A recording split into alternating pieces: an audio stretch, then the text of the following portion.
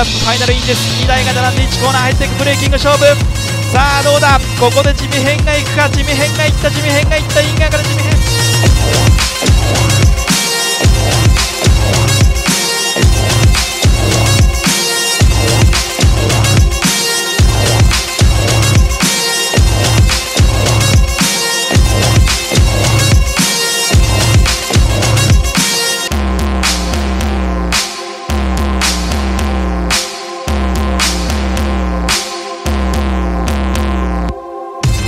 トップでチェッカーを受けて GKRT ハリア選手なんとラウンド5から引き続きラウンド6でも2連勝。